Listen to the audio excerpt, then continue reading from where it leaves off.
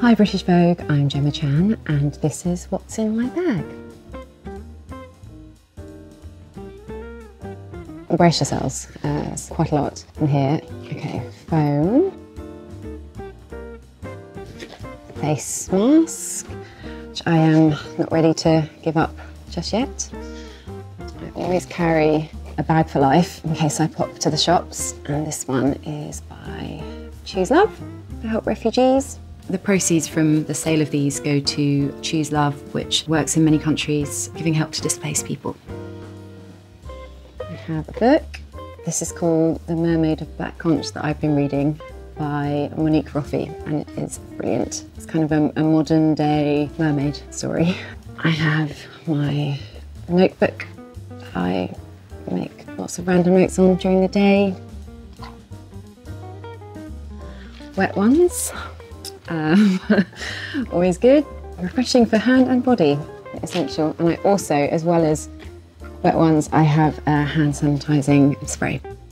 What does my bag say about me? I think it says that I'm kind of an Asian mom that has to have everything with her for all eventualities. My mum was a pharmacist. Um, she would have a full range of pills and whatnot for anything you might um, come down with. One of the weirdest things that she popped out was that she had a carrier bag from Safeway, and so she's been reusing the same plastic bag for 20 years, which I think is amazing. We're almost halfway there, guys. Smints.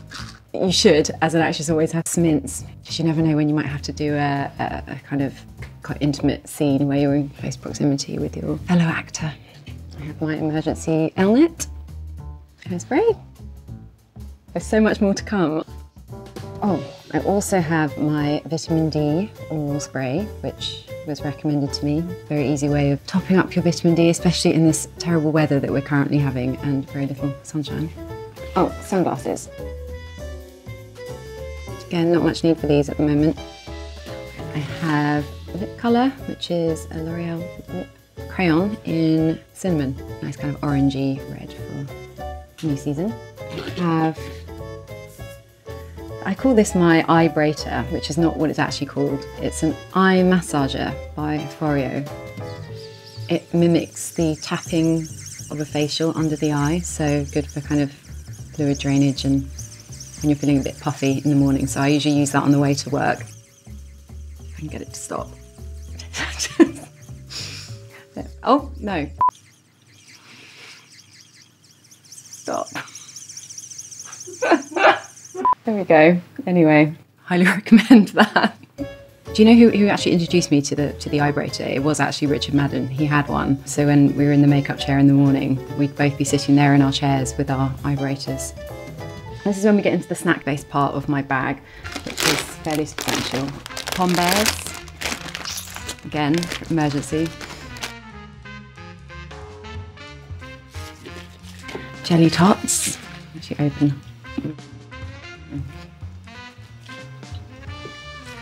White Rabbit Sweets, which I've loved since I was a child. They are my fave.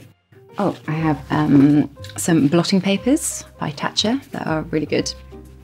And I also always keep some Polaroids of my family and loved ones. Myself, my sister, my dad and my nephew, Chan family, one of me and Richard Madden. And that is, that's it. Thanks for watching. This was What's in My Bag.